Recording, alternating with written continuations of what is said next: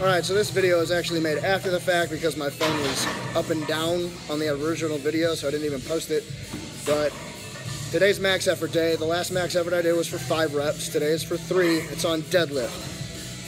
As my last vlog update, I'm injured. I can't get into sumo stance. No, I'm not going to be stupid and pull sumo. I'm going to go for a new three rep max in conventional. The most I've ever pulled is 600 for two about a year and a half, two years ago, and it almost killed me. So the goal today is 600 for three.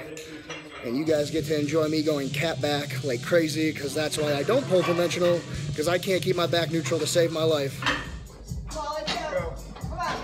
Chest up!